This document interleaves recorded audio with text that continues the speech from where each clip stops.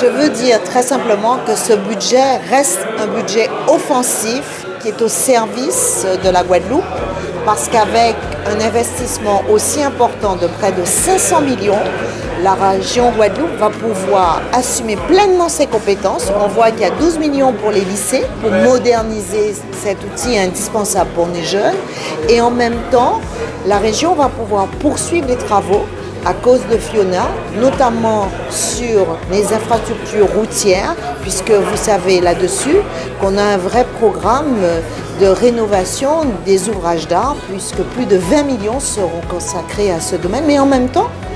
la région va continuer de soutenir le développement économique au travers de ces dispositifs et va surtout permettre au niveau de l'innovation, au niveau de la recherche, que nous soyons encore beaucoup plus performants. En tout cas, c'est vrai qu'il faut être prudent. Il faut poursuivre dans cette direction qui a toujours été celle du président, une gestion rigoureuse, mais il faut être au service du développement de la Guadeloupe.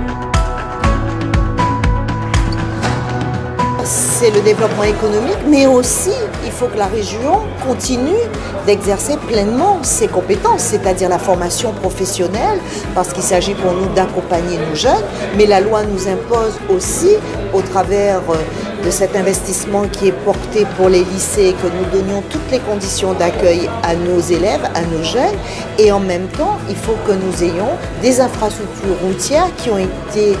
endommagés avec euh, Fiona, nous puissions les remettre en état. Il y va aussi de la sécurité des Guadeloupéens et il y a un programme très lourd de rénovation de tous les ouvrages d'art en Guadeloupe au titre de l'année 2023. Et d'ailleurs, certains travaux ont commencé, on peut le voir, c'est visible. La région